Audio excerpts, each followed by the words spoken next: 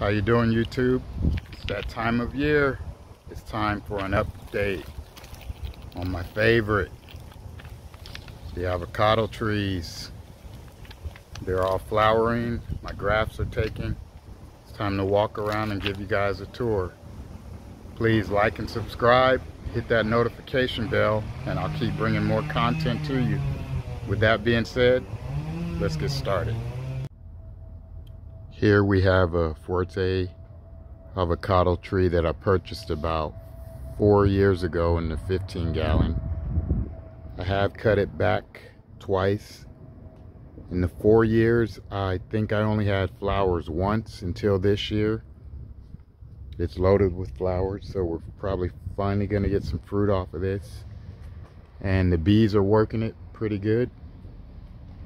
Once again, we do high density planting so it's really close to a Hass that was purchased maybe five six years ago.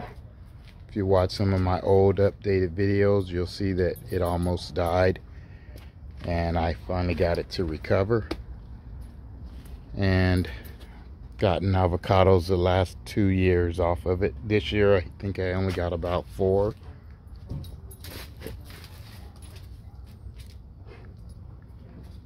And I've also cut that one back maybe twice now. Also notice the the old leaves falling and the new leaves coming in. Uh, notice a lot of people on my uh, one of the Facebook group pages that I'm on. They're always posting about how their tree is dying or what fertilizers it needs. I think I also had a group member come by and he thought the tree was looking pretty ugly and I had to explain to him this is the natural process that the old leaves drop and provide mulch and the new leaves come in. So it's going through that process. Um, a lot of people tell you to add a lot of stuff to your trees but you need to kind of monitor it and make sure it's just not the normal leaf drop. See the bees working it. So don't just go adding a bunch of stuff or thinking it's salt burn. Some of it's the natural process. So if you've been feeding and watering the tree, then you should know, uh, you'll know the difference. Another in-ground tree. This is a Jan Boyce it's growing really fast. This was a little five gallon that was about down here when I got it a year ago. Um, it's dropped all its old leaves. See, I have it planted in ground. It's on a mound. And that uh, other video that I'm doing will show you that that's for aeration because this area of my yard gets saturated and doesn't drain as well as the rest. That's another green gold that I grafted. And this is the, my first successful graft. It's in the ground now. It's a Kahaluu. You notice I have this uh, kind of cheap fencing up just to keep my dogs out until I can build a fence. So this potted plant is a Pinkerton. Had it almost two years and it's been in the pot the entire time but it's flowering profusely. One of my favorite trees is the reed. Last year was the first year that I didn't get any fruit off of the reed and I think it only had three or four flowers. So this year it's looking loaded again. It's been a really slow grower. Um, so what I did is I added extra mulch this year. So we got about a six inch layer of mulch and it's doing really well. So let's see if we can't get this thing to start growing more upright. So been a pretty good producer until last year. And here we have a gem planted in a five gallon. I just planted that one in the fall. And any tree that isn't blocked with the fencing I have to cover with chicken wire so my Rottweiler here, Spike, doesn't dig up the roots. So that, that gem's doing well and it's flowering. So this is the bacon avocado purchased about three years ago. And it's pretty much giving me fruit every year. Last year I got about eight, so it's been doubling every year. So I'm imagining this year I'll get 20 to 30. But it's a beautiful tree. The old leaves are dropping. And the bees are working it. So I went ahead and sprayed honey water on the flowers on most of my trees this morning. So the bees were working it before that. So I'm kind of skeptical about, you know, interfering with that. But I figured I'd try it anyway. I'm going to do a separate video on this approach graft here with the Brazilian seedling that you see here. It, that that seedling's five, over five feet tall and it's only a year old so I'll do a separate video but let me show you the graft union on this approach graft there let's see. So I'll go ahead. At some point I'll cut this off and I may graft onto that and you see the bacon side here. So this tree will be a multi-variety. So I'll cut it here and the tree will be uh, bacon. And I'm thinking of either chopping it here and grafting on or maybe just chop it and leave it all bacon. Haven't decided that's a separate video so that's the bacon bacon, bacon seem to grow fast and flower profusely and I think people are notorious for uh, harvesting the fruit too early. So it has a bad reputation for flavor. But if you wait until late January and February, then I think you'll you'll be surprised at how much more buttery the fruit is. So around here, a lot of trees that I've grafted. We have a Jan Boyce there. I'm doing an experiment with woody soil on that one, so it's not planted in a sandy soil, and it's doing fine so far. The rest of my trees are planted in uh, sandy soil. Uh, most of them are in Gary's top pot. That is the Don G. It's a pretty, growing pretty slow compared to a couple that I've seen in top pot. Um, that's a Choquette It's flowering already. Here we have a Sharwil, and this is a reed that I purchased uh, in the five gallon maybe year and a half ago. Um, I'm doing a separate video on how this one looked like it had root rot even though it's in the top pot. So um, I've had it elevated so uh, I went ahead and drilled extra holes for more aeration and I've been kind of cutting off the dead ends but that'll be a separate video. See this would be a long video if I went around and showed you every single graft that I've done but this is an experiment that I'm doing with an approach graft so you see two seeds and they're two seedlings grafted into one and that'll eventually be a multi-variety tree. Here's another example with an approach graft. Let's turn that sideways so you can see it. You see here that's two different seeds and two different seedlings grafted into one. If I can get a close-up. That's the graft union here's another bacon that I grafted. Maybe oh I want to say six months ago. Maybe I did that in the fall I think. I should have wrote the date down but there's the graft union. So that one's doing well. Another in-ground seedling dropping its old leaves once again. And I grafted a Carmen on top. So I'm waiting for that to push. Yeah. If you notice a theme, I have a lot of trees in ground that are close because we like to keep the yard open so that my kids can do their, you know, gymnastics and things like that and the dogs have room to run. So you'll notice a theme that all of my trees are planted up against the fence. And it, it works for us the high density planting. This is turning out to be my favorite tree. It's probably about a four-year-old seedling.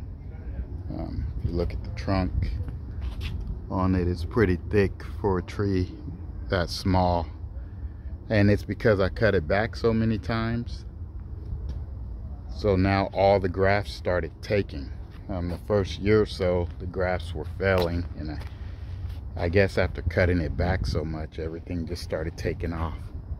That's a Fuerte. This here is a sharwil waiting on the choquette to push.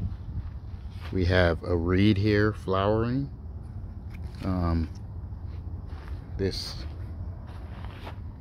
kahaluu flowering profusely. Have another kahaluu in here flowering. It's a smaller one right there. Choquette which is a Florida variety. And we have a bacon here. Have a hass here. And one of our members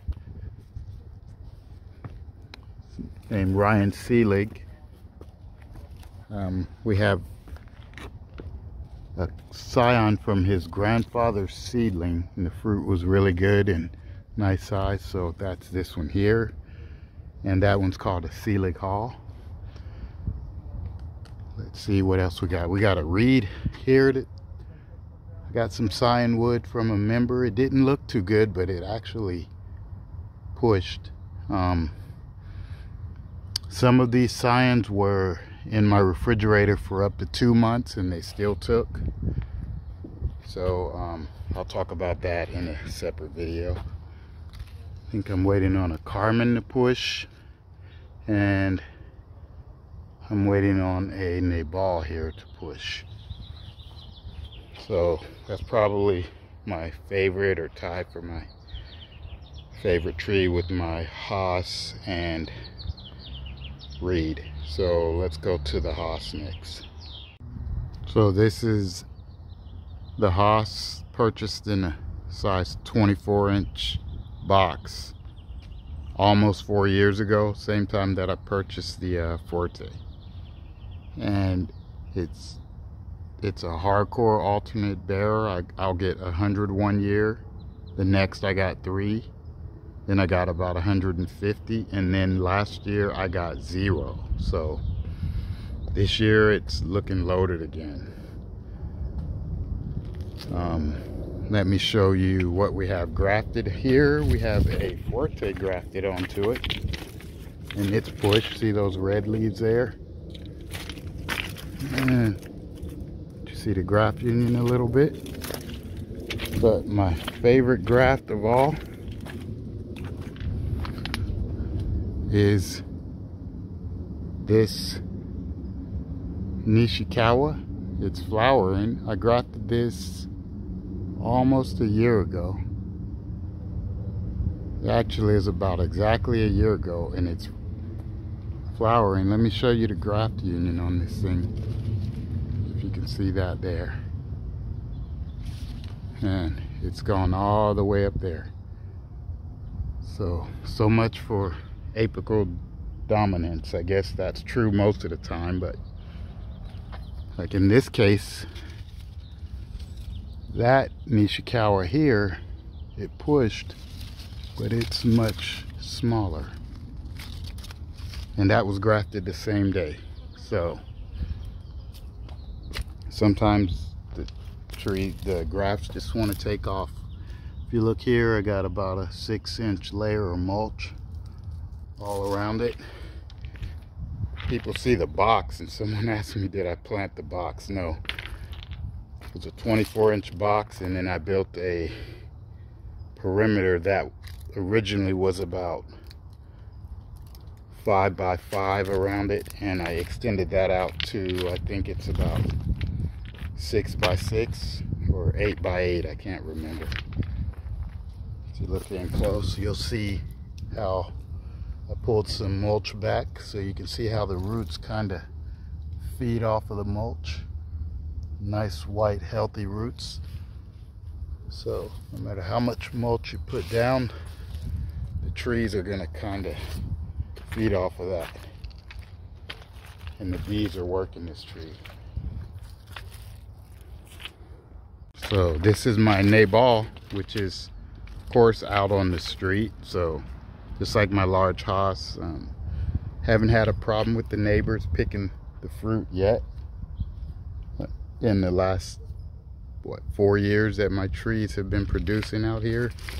So we'll see how it goes um, set up a camera system to kind of look because I'm overdue for someone to start taking the fruit.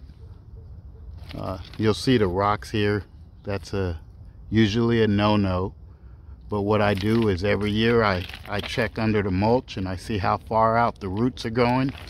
And I just kind of slide the rocks back every year. So that's how I'm handling that. But this is the nabal. It's flowering should get my first fruit this year and that's been the fastest growing tree that I've had so it's getting a really sunny and it's almost time to spray it with some surround WP to protect it from the sun um, kind of watch it with the passion fruit um, I have to come out and trim that That's a multi-variety fig tree. That's another video. So here's the holiday. Um, it's been in the ground what, about a year and a half. Do have to do some trimming on the lower branches. This thing weeps a lot, so but it's flowering profusely and the new leaves are coming in. Same thing with the rocks. I slide them back so they don't burn the roots. Um, and last but not least here's the here's the lamb hass and it's flowering profusely as well this was the original leader and it just wanted to lean over. Oh there you go. Got a little avocado there if you look closely. But I got to trim the lower branches on this one. I want to keep a skirt but I don't want fruit on the ground. So anyway, this one is uh, flowering profuse profusely and this other branch here ended up taking taking off as the leader so I'm just gonna let it go and just keep it staked up. So that's about it. I have more seedlings that I won't bore you with. Um, compare these to my last update. I want to say I did it about a year ago. So if you go back look in the description below and you'll see my updates from last year and then you can kind of compare the progress and I'll do more videos on how I fertilize and where I get the mulch and things like that so if you if you could just like subscribe and hit the notification bell. Also be on the lookout for a video about a green gold giveaway that I'm going to do for my uh, subscribers. So we'll use like a random generator to pick a winner and I'll send the tree to whoever that winner is. Thanks. Bye.